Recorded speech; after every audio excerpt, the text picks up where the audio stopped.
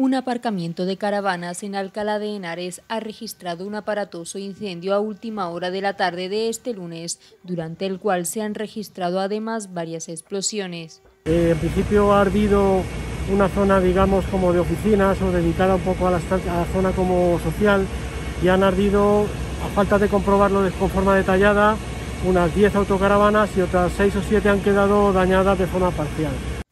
Al lugar han acudido 10 dotaciones de los bomberos de la Comunidad de Madrid, cuyos efectivos han logrado asegurar una zona donde se almacenaban bombonas de propano.